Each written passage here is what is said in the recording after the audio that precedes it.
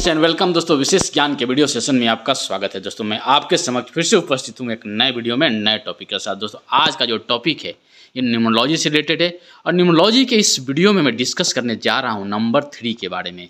यानी कि इस नंबर में क्या है और इसकी कंप्लीट एनालिसिस हम करेंगे कि नंबर थ्री क्या होता है। यानी कि जिसका डेट ऑफ़ बर्थ अगर तीन तारीख को है, बारह तारीख को, इक्कीस तारीख को, तीन और तीस तारीख को, उसका मतलब है कि उसका मूलांक तीन होता है, वो नंबर तीन से प्रभावित है। यानी कि नंबर तीन से वो इन्फ्लुएंस है, या किसी का भाग्यांक थ्री हो सकता है, यानी कि टोटल डेट ऑफ़ बर्थ को ऐड करने के बाद अब तीन आता है तो उसको हम भाग्यांक बोलते हैं, और वह व्यक्ति भी तीन नंबर से एसोसिएटेड है, तीन नंबर से प्रभावित है। यानी हम दूसरा तरह से ये भी बोल सकते हैं कि किसी का नाम नंबर तीन है तो भी व्यक्ति तीन नंबर से प्रभावित है।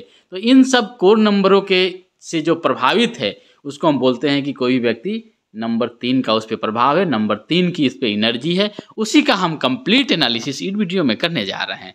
अब हम बात करते हैं कि तीन नंबर क्या है। तीन नंबर जुपिटर का नंबर है और तीन नंबर से इन्फ्लुएंस लोग जो हो सकते हैं, मैंने पहले ही बताया कि वो कैसे एसोसिएटेड हो सकते हैं। मान लीजिए आपका मूलांक तीन है, यानी कि मूलांक का तीन का मतलब है कि आपका डेट ऑफ़ बर्थ तीन तारीख को, बारह तारीख को, इक्कीस तारीख को और तीस तारीख को हुआ है तो आपका मूलांक तीन आता है। यानी कि सबको जोड़ने के बाद क्या होता है? जो नंबर आता है वो तीन है। उस तरह से भाग्यांक का मतलब तीन का मतलब क्या है? मान लीजिए किसी भी व्यक्ति का जन्मदिन दिन डेट जो है, वो पंद्रह छः उन्नीस सौ इकहत्तर है। यानी कि अगर सबको हम ऐड करेंगे तो ये टोटल होने के बाद आता है थर्टी और थर्टी को थ्री प्लस ज़ीरो ज़ीरो करेंगे तो ये बनता है थ्री यानी कि इसकी भाग्यांक थ्री है। यानी हम बोल सकते हैं कि जिसका मूलांक और जिसका भाग्यांक तीन है, वो व्यक्ति नंबर तीन से प्रभावित है, वो व्यक्ति जुपिटर से प्रभावित है, और वो नंबर जो थ्री है, उसकी एनर्जी उसके पास अवेलेबल है उससे इन्फ्लुएंस है। अब हम बात करते हैं कि और कई तरीके से जो व्यक्ति है नंबर तीन से प्रभावित हो सकता है तो उसका नेम नंबर थ्री हो सकता है।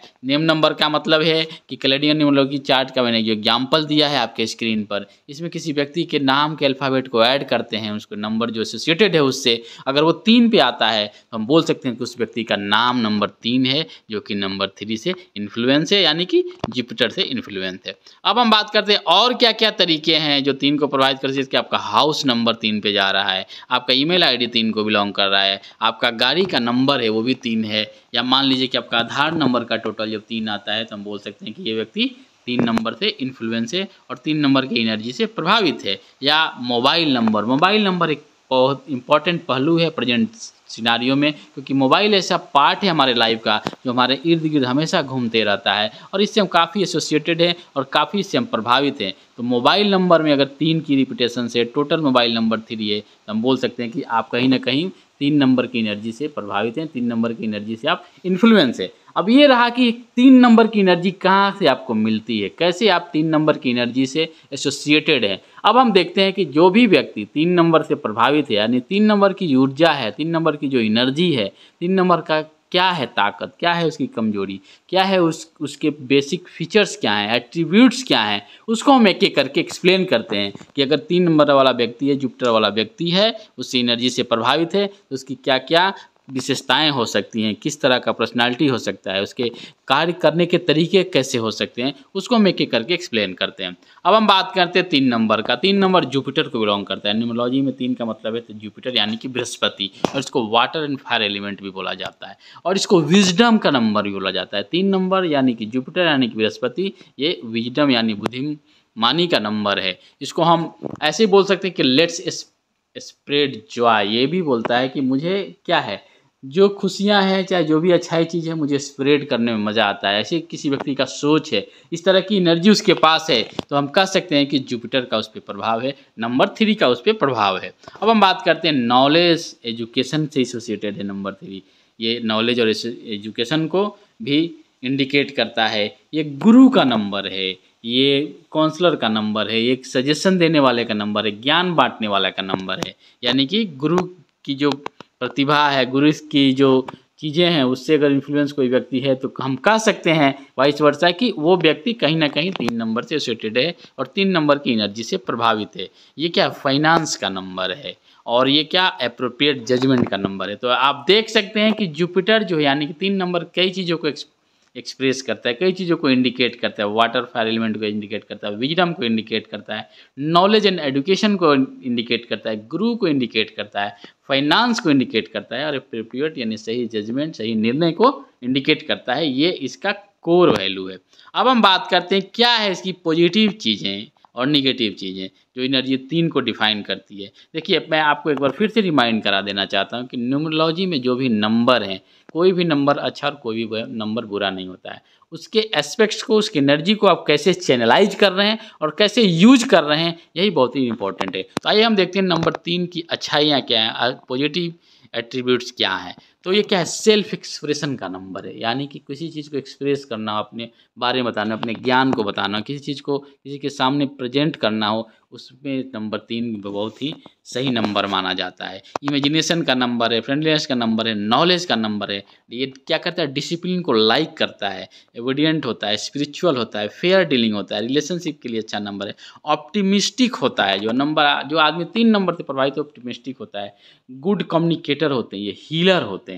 काउंसलर का भी काम करते हैं। Love to hang out and meet people लोगों से मिलना जुलना इनको अच्छा लगता है। लोगों को बीच रहना इनको अच्छा लगता है। ज्ञान बांटना अच्छा लगता है। कम्युनिकेट करना अच्छा लगता है। किसी के प्रति हीलर यानी कि कोई सही चीज़ का सजेशन देना हो काउंसलिंग करना हो, इनको ये पसंद है। ये सब चीज़ें क्या है? ये नंबर तीन का पॉजिटिव एस्पेक्ट्स है। पॉजिटिव चीज़ें हैं, अच्छाइयाँ हैं। तो अगर कोई व्यक्ति नंबर तीन को अच्छा करना चाहता है इस तरह की चीज़ों को अपने अंदर समावेश करे, अपने अंदर इन चीज़ों को लाए, तभी जाकर वो तीन की एनर्जी को बैलेंस कर पाएगा और तीन की एनर्जी को सही डायरेक्शन में चैनलाइज कर पाएगा। अब हम बात करते हैं कि इसके निगेटिव इम्पैक्ट क्या है, जो तीन नंबर की एनर्जी है। तो निगेटिव इम्पैक्ट है अटेंशन सीकर ये क्या अटेंशन सीकर होता है? इसको हमेशा कोई ना कोई चाहिए इनके बातों को सुनने वाला।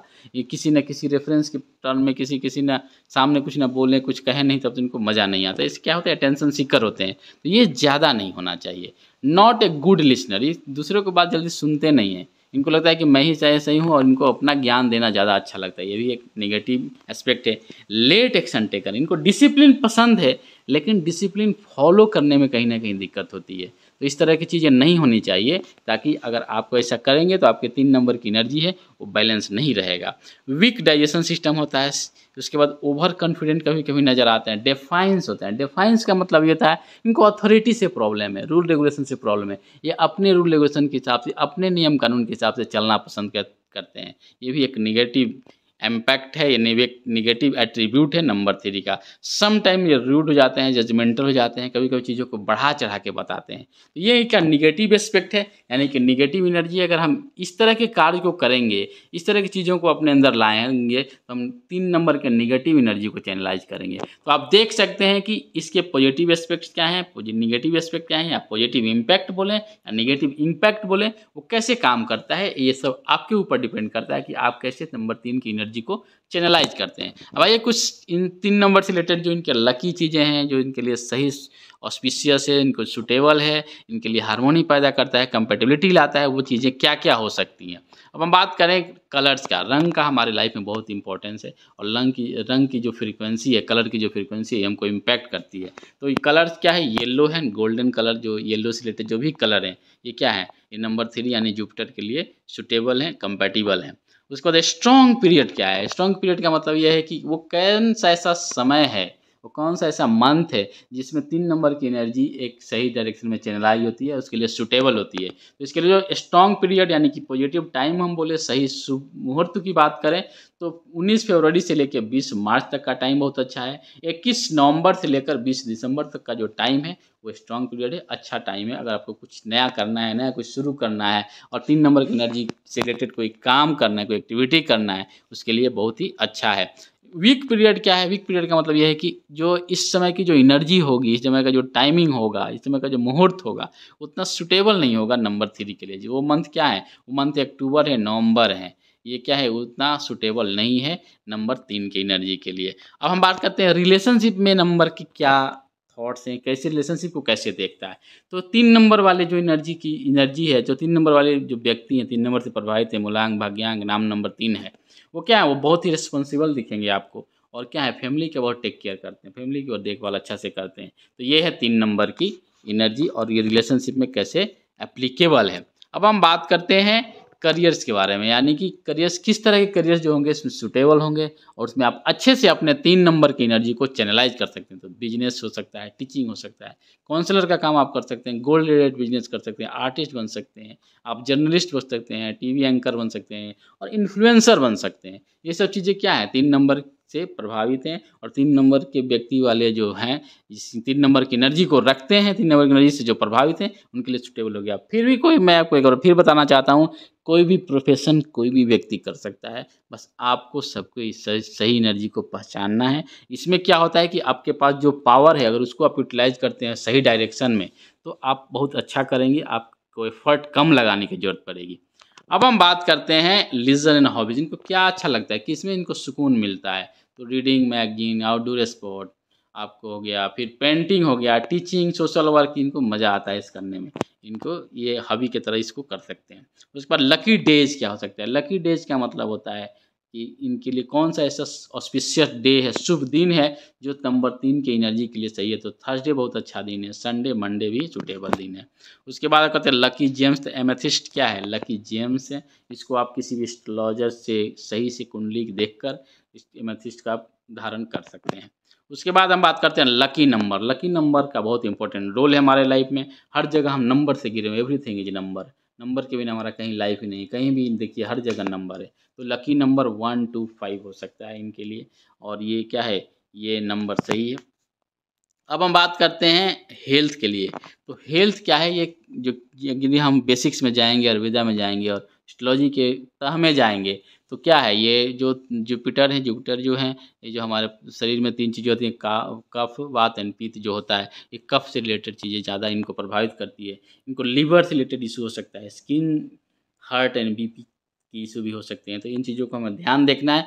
देना है कि अगर आपके तीन नंबर की एनर्जी अगर डिसबैलेंस होगा, असंतुलित होगा तो इस तरह की चीज़ों से आप प्रभावित हो सकते हैं। अब हम बात करते हैं फ़ेमस पर्सनालिटी इसका एग्ज़ाम्पल देना बहुत ज़रूरी है। मैं हर नंबर के वीडियो में एग्ज़ाम्पल देता हूँ कि वो कौन से फ़ेमस पर्सनालिटी हैं। क्योंकि आप जानिए कि हर व्यक्ति, हर नंबर का व्यक्ति अच्छा है, हर व्यक्ति, नंबर का व्यक्ति बुरा है। जैसे देख सकते हैं जसवंत सिंह, परेश रावल, रोहित शर्मा। एम करुणानिधि प्रियदर्शन ये क्या है? ये नंबर तीन वाले व्यक्ति हैं तीन नंबर से प्रभावित हैं तीन नंबर से इन्फ्लुएंस है तीन नंबर की एनर्जी को होल्ड करते हैं। तो ये है कुछ अच्छी पर्सनालिटी तो इसमें कुछ ऐसे भी होंगे पर्सनालिटी जो नंबर तीन से हैं और वो अच्छे नहीं हैं उन, उनकी सक्सेस अच्छी नहीं है। तो आप ये को रिलेट कर सकते हैं कि हर नंबर अच्छा होता है और हर नंबर का अपना एक एट्रीब्यूट से अपना एक गुण है। उसको सही तरह से यूज़ करना है, सही तरह से चैनलाइज करना है, तभी जाकर आप एक सक्सेसफुल लाइफ जी सकते हैं। अब हम बात करते हैं कुछ मंत्र के बारे में। मंत्र जो होता है बहुत इम्पैक्ट होता है हमारे लाइफ में। मंत्र का उच्चारण अगर सही से हम करेंगे और उसका जाप करेंगे नियमित रूप से प्रतिदिन तो उसका इम्पैक्ट हमारे लाइफ पर बहुत पड़ता है। तो अगर आप बृहस्पति को या तीन नंबर या जुपिटर से रिलेटेड आपको जाप करना है, मंत्र का तो मैंने लिख दिया है। इसका ओम ब्रीम बृहस्पति नमः ओम। ये करके आप एक सौ आठ बार, इक्यावन बार जितना बार कर सकते हैं, डेली कीजिए। इसका इम्पैक्ट आपको स्वयं दिखेगा। अब हम बात करते हैं कुछ सजेशंस का, जो इम्पोर्टेंट पहलू है हमारे वीडियो का, हर वीडियो में मैं लास्ट में कंक्लूड करता हूँ सजेस्ट करता हूँ कि क्या होना चाहिए हमारे हिसाब से, जो भी मेरी स्टडी है, जो भी मेरा नॉलेज है, उसको मैं समराइज करके सजेशन देता हूँ। तो जो नंबर थ्री से प्रभावित व्यक्ति हैं, उनके लिए कुछ सजेशंस है, जिनको ध्यान से देखिए, और इसको आप अप्लाई कीजिए। दोस्तों तो पहला जो है, ये है वाइड प्रोकेस्टिनेशन ये तीन नंबर वाले व्यक्ति हैं, ये डिसिप्लिन को पसंद करते हैं, लेकिन डिसिप्लिन फॉलो नहीं करते हैं। एक्शन को थोड़ा स्लो लेते हैं। एक्शन लेकर में फास्टिंग नहीं होती है इनकी। तो ऐसे व्यक्ति को प्रोकेस्टिनेशन यानी कि टाल मटोल करने से बचना चाहिए और थोड़ा सा अटेंशन सीकर हमेशा होने की ज़रूरत नहीं है। अब हमेशा आपको लोग नहीं मिलेंगे। हमेशा आपको इन्वायरमेंट नहीं मिलेगा। हमेशा आपको ऐसा माहौल नहीं मिलेगा जो आपके साथ कोई ना कोई हो। और आप उनके बीच घिरे रहिए। आप कभी एलोन भी हो सकते हैं, कहीं भी इसका आपके साथ कुछ भी हो सकता है तो अटेंशन सीकर ज़्यादा बनने की ज़रूरत नहीं है रेगुलर एक्सरसाइज करने की ज़रूरत है। Follow the routine and avoid multitasking एक बार में एक से ज़्यादा काम करना सही नहीं है, क्योंकि आपको अगर राइज करना है तो मल्टीटास्किंग नहीं, आप एक काम पर फोकस होकर ज़रूर उसको फोकस होकर काम कीजिए। ग्राउंडेड रहिए और गुड लिसनर यानी कि थोड़ा सा दूसरे को भी सुनिए, दूसरा का भी पक्ष लिखिए। हर व्यक्ति का अपना ना कुछ क्या होता है एट्रीब्यूट्स होता है यूएसपी जिसको बोलते हैं, उसको आप सुनिए, उससे भी आप कुछ सीख सकते हैं। हमेशा आप ही केवल नहीं सिखा सकते हैं। हर लर्निंग जो प्रोसेस है, आप हम कहीं भी किसी के साथ भी उसको यूज़ कर सकते हैं और सीख सकते हैं। तो इसलिए आपको गुड लिसनर बनना बहुत ज़रूरी है। नेवर डिसरेस्पेक्ट द टीचर अगर आपको लाइफ में अच्छा रहना है, तीन नंबर की एनर्जी को बैलेंस करना है तो जो भी आपके टीचर हैं गुरु हैं काउंसलर हैं, जिससे आपको कहीं ना कहीं ज्ञान मिला है, जो आपको किसी हर तरह के क्षेत्र में गुरु मिल सकते हैं आपको।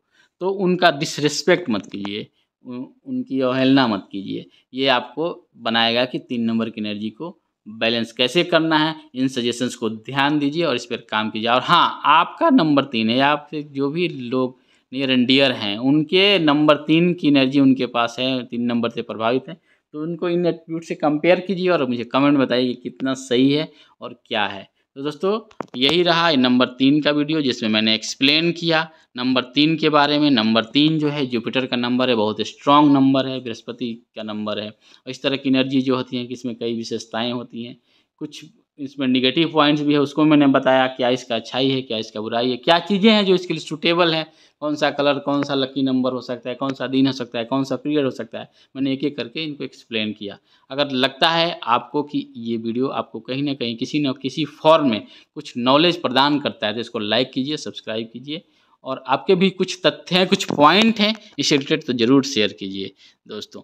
अब हम बात करते हैं कि अगर आपको कोई भी चीज़ जाए जो न्यूमरोलॉजी से रिलेटेड हो, एस्ट्रोलॉजी से रिलेटेड हो, ग्राफोलॉजी से रिलेटेड हो, यानी कि आपको नेम का एनालिसिस करवाना है, किसी बच्चे का नामकरण करना है, या आपको मोबाइल नंबर आपका जो यूज़ करें कि आपके लकी है कि नहीं, सही सुटेबल है कि नहीं, उसकी जानकारी लेना है, या आपको हैंड राइटिंग और सिग्नेचर एनालिसिस करवाना है, या किसी बच्चे का, या आपको खुद हैंड राइटिंग डेवलपमेंट करना है, या आपके लाइफ से रिलेटेड कोई भी समस्या है, चाहे किसी तरह के सजेशंस या काउंसलिंग लेना है, वो हेल्थ से रिलेटेड हो रिलेशनशिप से रिलेटेड करियर से रिलेटेड हो या मनी से रिलेटेड हो, या आपकी कुंडली और आपके जो न्यूमरोलॉजी के हिसाब से, आपकी ग्राफोलॉजी के हिसाब से, सारी चीज़ों के एनालिसिस करवाना है, अपने अपने अपने स्वेट एनालिसिस करवाने अपने बारे में जानना है तो आप मेरे दिए हुए वेबसाइट पे, जिसका नाम है W W E edification hub dot com पर जो सर्विसेज़ हैं, उसमें सारे डिटेल हैं, आप इसके माध्यम से हमसे जुड़ सकते हैं, और उसके बाद आप जो भी चीज़ें हैं, जो इस पर मैंसन उस तरह से जानकारी आप